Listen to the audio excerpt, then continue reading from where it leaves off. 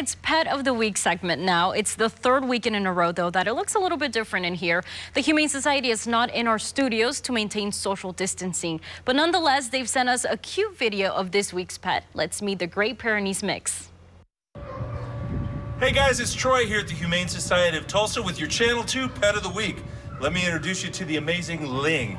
This good looking boy is about four months old and what we believe to be is a Great Pyrenees mix. So he's going to be a good looking hunk of kid.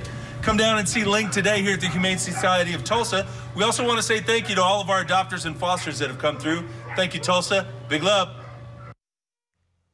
All right, super cute there. If you want to adopt Ling or any animal at the Humane Society of Tulsa, you can give them a call at 918-495-DOGS or log on to tulsapets.com.